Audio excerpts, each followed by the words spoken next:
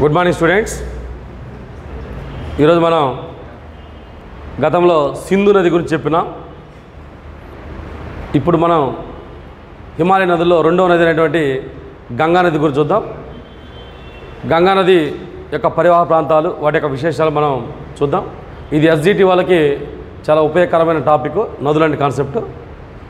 ఇంతకుముందు మనం సింధు నది చూసాం కాబట్టి ఇప్పుడు గంగా నది యొక్క పరిస్థితులు వాటి యొక్క విశేషాలు మొత్తం చూద్దాం. గంగా నది. గంగా నదిని చూసే ముందు మనం వాటి యొక్క జన్మస్థానాలు వాటి యొక్క విశేషాలు కనుక మనం గమనిస్తే గంగా నదిని మన జాతి నదిగా పిలుస్తారు. గంగా నదిని మనం జాతీయ నదిగా మనం కొనియాడతాము. గంగా నదికి జాతీయ హోదా ఎప్పుడు ఇచ్చారు సార్ అంటే గంగా నదికి జాతీయ హోదా ఎప్పుడు ఇచ్చారు సార్ అంటే రెండు వేల ఎనిమిదిలో గంగా నదికి జాతీయ హోదా ఇవ్వడం జరిగింది. రెండు వేల ఎనిమిదిలో గంగా నదికి జాతీయ హోదా ఇవ్వడం జరిగింది. ఆ గంగా నది యొక్క విశేషాలు మనం ఇప్పుడు ఈ టాపిక్లో చూద్దాం. ఈ టాపిక్లో గంగా నది యొక్క విశేషాలు మనం చూద్దాం.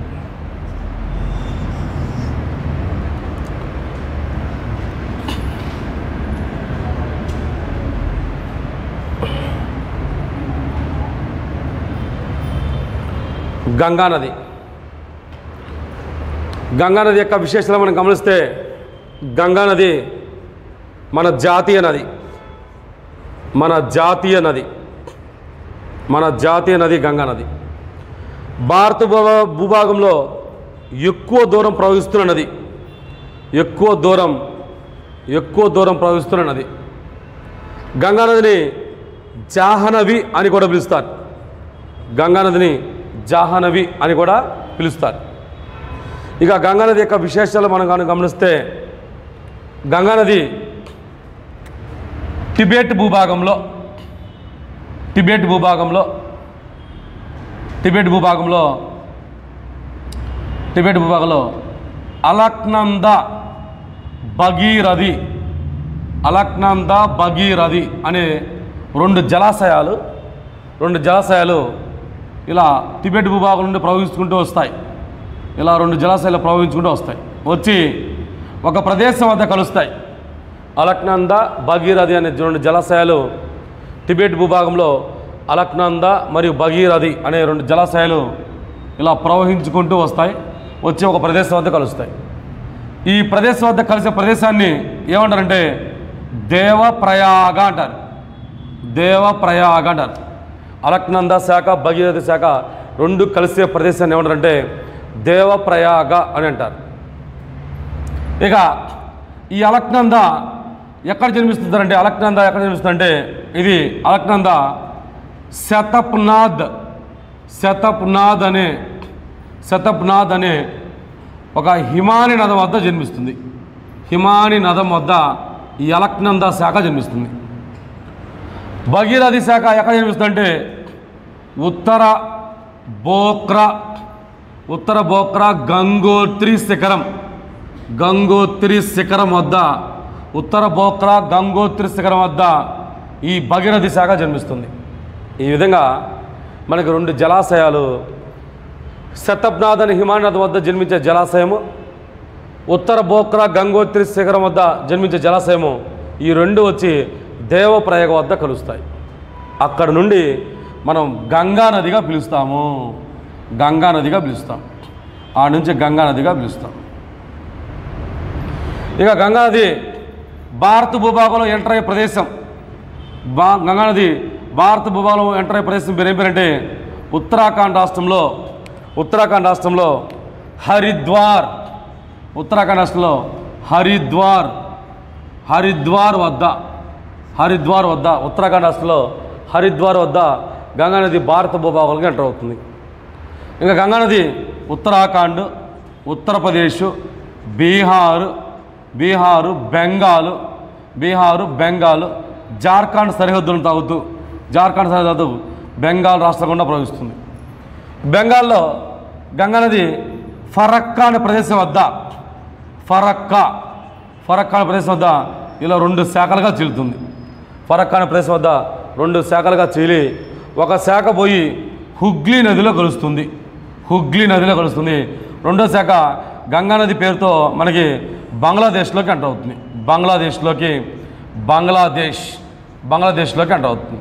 ఈ విధంగా గంగా నది ప్రవహించే రాష్ట్రాలు గంగా నది ప్రవహించే రాష్ట్రాలు కానీ మనం గమనిస్తే గంగా నది ప్రవహించే రాష్ట్రాలు గంగా నది ప్రవహించే రాష్ట్రాలు గమనిస్తే ఒకటి ఉత్తరాఖండ్ రాష్ట్రము ఉత్తరాఖండ్ ఉత్తరాఖండ్ రాష్ట్రము.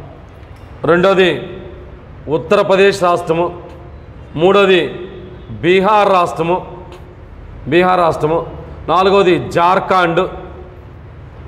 జార్ఖండ్. ఐదోది బెంగాల్ రాష్ట్రం. బెంగాల్ రాష్ట్రం. ఇదిగా గంగా నది ఐదు రాష్ట్రాల గుండా ప్రవహిస్తుంది.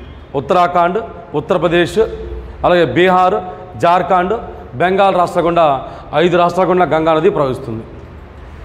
ఇక గంగా నది ప్రవహించే దేశాలు గంగా నది ప్రవహించే దేశాలు కానీ మనం చూసినట్లయితే గంగా నది ప్రవహించే దేశాలు కానీ గమనిస్తే మూడు దేశాలు ప్రవహించడం మనం గమనించవచ్చు. గంగా నది టిబెట్లో జన్మిస్తుంది టిబెట్లో జన్మిస్తుంది టిబెట్ భారత్లో టిబెట్లో జన్మించి టిబెట్ కూడా ప్రవహించుకుంటూ భారత్లో ప్రవహిస్తుంది బంగ్లాదేశ్లో ప్రవహిస్తుంది బంగ్లాదేశ్లో ప్రవహిస్తుంది. ఈ విధంగా గంగా నది మూడు దేశాలు కూడా ప్రవహిస్తుంది. టిబెట్ భారత్ బంగ్లాదేశ్ గుండా మూడు దేశాల గుండా ప్రవహిస్తుంది. ఐదు రాష్ట్రాల గుండా ప్రవహిస్తుంది. గంగానది బెంగాల్లో ఫరక్కా వద్ద రెండు శాఖల జీలి హుగ్లీలో కలుస్తుంది. ఒక శాఖ బంగ్లాదేశ్లోకి ఎంటర్ అవుతుంది. బంగ్లాదేశ్లోకి ప్రవేశించగానే గంగా నదిని అక్కడ స్థానికంగా ఏమనిపిస్తారు సార్ అంటే పద్మా నది అని పిలుస్తారు పద్మా నది అని పిలుస్తారు బంగ్లాదేశ్లోనికి ప్రవేశించగానే ఆడ స్థానికంగా ఏమని పిలుస్తారు సార్ అంటే పద్మానది అని పిలుస్తారు. ఈ విధంగా గంగా నది ప్రవహించుంటూ బంగ్లాదేశ్లో కట్ అక్కడి నుంచి మనకి బంగాళాఖాతంలోకి కలుస్తుంది. బంగాళాఖాతంలోకి కలుస్తుంది. బంగాళాఖాతం కలుస్తుంది. గంగా నది యొక్క మొత్తం పొడవు ఎంత సార్ అంటే గంగా నది యొక్క మొత్తం పొడవు ఇరవై ఐదు ఇరవై ఐదు కిలోమీటర్లు అంటే రెండు వేల ఐదు వందల ఇరవై ఐదు కిలోమీటర్లు గంగా నది యొక్క మొత్తం పొడవు. సార్ భారత భూభాగంలో భారత భూభాగంలో గంగా నది పొడవు ఎంత అంటే రెండు వేల నాలుగు వందల పదిహేను కిలోమీటర్లు భారత భూభాగంలో గంగానది పొడవు. ఇక గంగా నది ఎక్కువ దూరం ఉత్తరప్రదేశ్లో ప్రవహిస్తుంది ఉత్తరప్రదేశ్లో పొడవు పద్నాలుగు వందల యాభై కిలోమీటర్లు. ఉత్తరప్రదేశ్లో పొడవు. బీహార్లో పొడవు నాలుగు వందల నలభై ఐదు కిలోమీటర్లు బీహార్లో పొడవు. బెంగాల్లో పడవు ఐదు వందల ఇరవై కిలోమీటర్లు బెంగాల్లో పడవు. ఈ విధంగా గంగా నది యొక్క మొత్తం పడవు రెండు వేల ఐదు వందల ఇరవై ఐదు. భారత భూభాగంలో రెండు వేల నాలుగు వందల పదిహేను. వీటిలో ఎక్కువ దూరం ఏ రాష్ట్రం ప్రవహిస్తుంటే ఉత్తరప్రదేశ్లో ప్రవహిస్తుంది. ఉత్తరప్రదేశ్లో గంగా నది పద్నాలుగు వందల యాభై. అదే బీహార్ పడవు నాలుగు వందల నలభై ఐదు. బెంగాల్ పడవు ఐదు వందల ఇరవై కిలోమీటర్లు. గంగా నది యొక్క మొత్తం పడవు. ఇక గంగా నది యొక్క మొత్తం పరివాహ ప్రాంత విస్తీర్ణం the total catchment area of Ganga river. మొత్తం పరివాహ ప్రాంత విస్తీర్ణం ఎంత సార్ అంటే ఎనిమిది లక్షల అరవై ఒక్క వేల నాలుగు వందల నాలుగు చదరపు కిలోమీటర్లు గంగా నది యొక్క మొత్తం పరివాహ ప్రాంత విస్తీర్ణం. గంగా నది యొక్క మొత్తం పరివాహ ప్రాంత విస్తీర్ణం ఎంత సార్ అంటే ఎనిమిది లక్షల అరవై ఒక్క వేల నాలుగు వందల నాలుగు చదరపు కిలోమీటర్లు గంగా నది యొక్క మొత్తం పరివాహ ప్రాంత విస్తీర్ణం. ఇక గంగా ప్రపంచ దేశాలు రాష్ట్రాలు చెప్పాం వాటి పడవలు చెప్పినాం. ఇక గంగా నది మీద గంగా నది మీద బెంగాల్ రాష్ట్రంలో ఫరక్కా అనే ప్రదేశం వద్ద ఫరక్కా బ్యారేజ్ ఉన్నది. గంగా నది పైన బెంగాల్ రాష్ట్రంలో ఉన్న ప్రముఖ ప్రాజెక్ట్ ప్రాజెక్ట్ చేస్తారంటే Farakka barrage. Farakka barrage. Farakka barrage అనేది ఫరక్కా బ్యారేజ్ ఉంది. ఈ ఫరక్కా బ్యారేజీ భారత్కి బంగ్లాదేశ్కి మధ్య వివాదాస్పద ప్రాజెక్ట్. ఇక్కడ గమనించాలి మిత్రులారా ఫరక్కా బ్యారేజ్ అనేది భారత్కి బంగ్లాదేశ్ మధ్య వివాదాస్పద project. This is the dispute dispute project in between the Bharat and Bangladesh. Farakka barrage. ఇది గంగా నది మీద బెంగాల్ రాష్ట్రంలో ఉంది. గంగా నది బెంగాల్ రాష్ట్రంలో ఎక్కువ వెడల్పుగా ప్రవహించి ఇక్కడ సారవంతమైన ఒక డెల్టా ఆకారపు త్రిభుజాకారపు సారవంతమైన మైదాన ప్రాంతాన్ని ఏర్పరుస్తుంది గంగా నది బెంగాల్ రాష్ట్రంలో ఏర్పరిచే సారవంతమైన త్రిభుజాకారపు త్రిభుజాకారపు డెల్టా ప్రాంతాన్ని ఏర్పరుస్తుంది. ఆ డెల్టా ప్రాంతం పేరు ఏం పేరుస్తారంటే Sundarban delta. Sundarban delta. Sundarban Sundarban delta. గంగానది గంగానది బెంగాల్ రాష్ట్రంలో ఏర్పరిచే డెల్టా ప్రాంతం పేరు ఏం పేరంటే సుందర్బన్ డెల్టా. గంగానది బెంగాల్ రాష్ట్రంలో ఏర్పరిచే డెల్టా ప్రాంతం పేరు. ఈ సుందర్బన్ డెల్టా యొక్క ప్రత్యేకత ఏంటంటే ఇది ప్రపంచంలోనే అది పెద్ద delta. According to our content ప్రపంచంలోనే అతి పెద్ద డెల్టా ప్రాంతం ఏంటంటే సుందర్బన్ డెల్టా. డెల్టా అనే పదము గ్రీకు భాష పదం. డెల్టా అనే పదము గ్రీకు భాష పదము. ఈ డెల్టా అనే పదాన్ని మొట్టమొదటిసారిగా వాడిన వ్యక్తి ఎవరు సార్ అంటే ఎరటోస్తనిస్. డెల్టా అనే పదాన్ని మొదటిసారిగా వాడిన వ్యక్తి ఎవరు సార్ అంటే Eratosthenes. He is the father of modern geography Eratosthenes. ఈ విధంగా డెల్టా అంటే ఏమిటని లాస్ట్ టైం మనకి డెట్లో అడిగిన ప్రశ్న. ఎస్జిడి వాళ్ళకి డెల్టా అంటే ఏమిటని లాస్ట్ టైం మనకు అడిగాడు. మనం గమనించాలి విద్యార్థులారా. ఆ డెల్టా అనగా ఏంటి సార్ అంటే త్రిభుజాకారాన్ని పోలిన త్రిభుజాకారాన్ని పోలిన సారవంతమైన వండలి భూభాగాన్ని డెల్టా అంటారు. త్రిభుజాకారాన్ని పోలిన సారవంతమైన వండలి భూభాగాన్ని డెల్టా అంటారు. ఆ డెల్టాను మనం ఇలా ఈ సింబల్తో చూపిస్తాము. డెల్టా అనే పదము గ్రీకు భాష పదం. ఈ పదాన్ని మొట్టమొదటిసారిగా వాడిన వ్యక్తి ఎవరు సార్ ఎరటోస్తనిస్. ఇక ప్రపంచంలో అది పెద్ద డెల్టా ప్రాంతం సుందరబన్ డెల్టా అది బెంగాల్ రాష్ట్రంలో ఉంది. ఏ నది వల్ల ఏర్పడిందంటే గంగా నది వల్ల ఏర్పడింది. ఈ విధంగా గంగా నది టిబెట్ భారత్ బంగ్లాదేశ్లో ప్రవహిస్తుంది. ఉత్తరాఖండ్ ఉత్తరప్రదేశ్ బీహార్ జార్ఖండ్ బెంగాల్ రాష్ట్రాల ప్రవహించి బంగ్లాదేశ్గా అంటవుద్ది బంగ్లాదేశ్లో అంటారు దాన్ని పద్మానది అని పిలుస్తారు. గంగా నదిని పూర్వంలో జాహ్నవి అని కూడా పిలిచేవాళ్ళు. ఇక భారత భూభాగంలో పొడవైన మైదాన ప్రాంతాన్ని పొడవైన మైదాన ప్రాంతాన్ని పొడవైన మైదాన ప్రాంతాన్ని ఏర్పరుస్తున్న నది ఏంటంటే పొడవైన మైదాన ప్రాంతాన్ని ఏర్పరుస్తున్నది గంగా నది. పొడవైన మైదాన ప్రాంతాన్ని ఏర్పరుస్తున్నది ఏంటంటే గంగా నది. ఈ విధంగా గంగా నది మనకి ప్రవహిస్తూ ఉంది. ఇక గంగానది యొక్క ఉపనదులు కానీ మనం గమనిస్తే గంగానది యొక్క ఉపనదులు మనం గమని గమనిస్తే గంగానదికి ఉత్తరం నుండి దక్షిణ వైపు ప్రవహించి ఉత్తరం నుండి దక్షిణ వైపు ప్రవహించి గంగానదిలో కలిసే ఉపనదులు. గంగానదికి ఉత్తరం నుంచి దక్షిణ వైపుగా ప్రవహించి గంగానదిలో కలిసే ఉపనదులు మనం కానీ చూసినట్లయితే ఉత్తరం నుంచి దక్షిణ వైపు ప్రవహించి గంగానదిలో కలిసే ఉపనదులు ఏం నార్త్ నుంచి సౌత్ వైపు ప్రవహించి ఉత్తరం నుంచి దక్షిణ వైపు ప్రవహించి గంగానది కలిసే ఉపనదులు. అక్కడ పట్టదు కాబట్టి ఇక్కడ రాస్తున్నాము.